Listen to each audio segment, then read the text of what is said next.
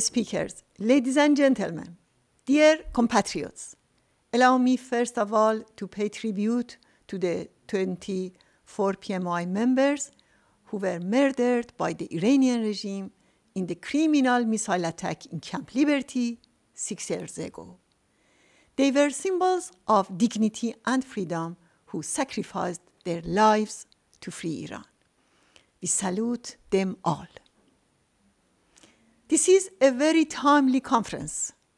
The regime is engulfed in many crises with no solution. The people's daily life is worsening. The economic foundations have been destroyed. In 2021, inflation in Iran has reached uh, 50% and unemployment is on the rise. Uh, Khamenei and the Revolutionary Guards are plundering the nation's wealth or spending it on meddling in the region as well as on nuclear, missile, and drone projects.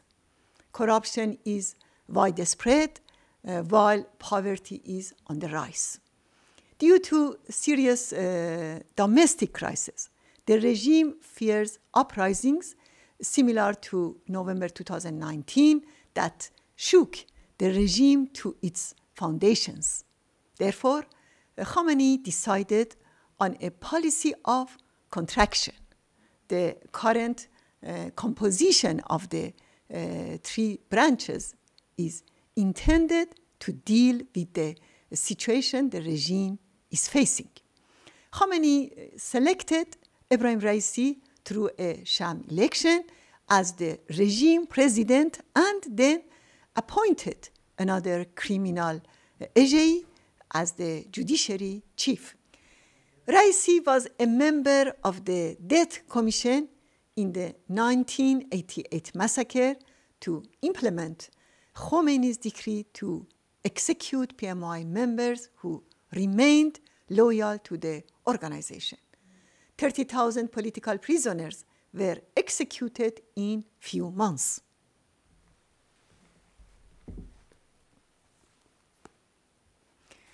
This book contains the names of 5,000 of those martyrs.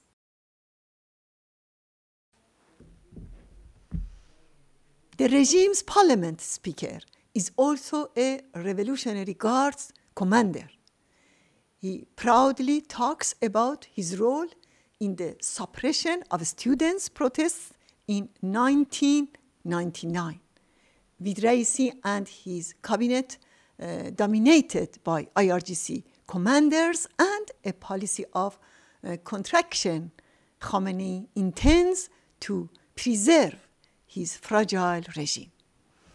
However, the crises are so deep and the gap between the people and the regime is so wide uh, that Khamenei can neither resolve this crisis nor contain the public anger. In addition, uh, due to nationwide protests by almost every sector of Iranian society and the activities of uh, resistance units, the regime fears that even a small incident could trigger a major uprising. In a world, uh, the Iranian people are ready for the regime's overthrow uh, more than any other time. It is time for the international community to side with the people of Iran and their desire for change. The Iranian people have clearly demonstrated their demands and their resolve for change. They reject the regime in its entirety. So uh, let it be clear regime change in Iran by the Iranian people and their resistance is inevitable and nothing can prevent it. It is time for the world to recognize this fact as well.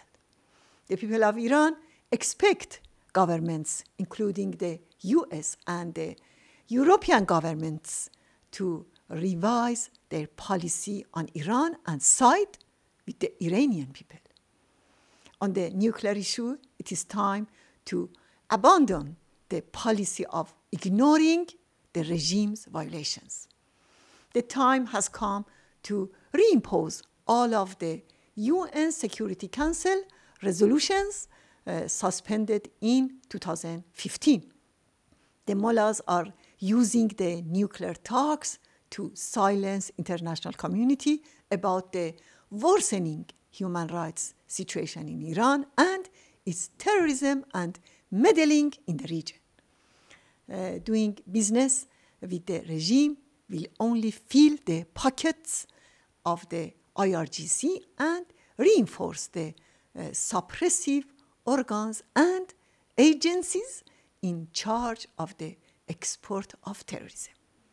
The people of Iran expect the international community to prosecute Ebrahim Raisi for uh, genocide and crime against humanity in an international court. He's a mass murderer.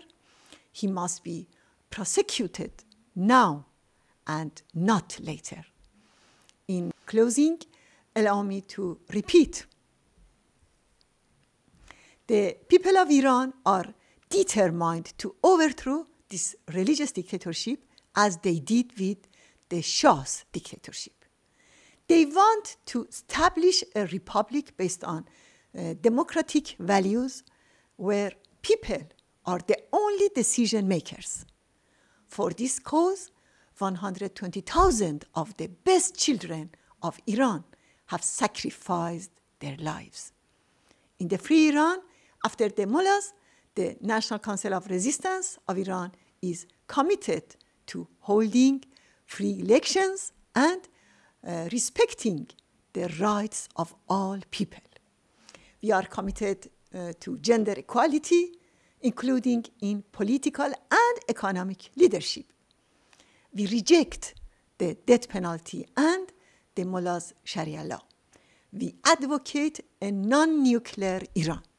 I call on the international community and world leaders to adopt their policy on Iran in line with the Iranian people's desire and to identify Iran with its people and not with its criminal rulers.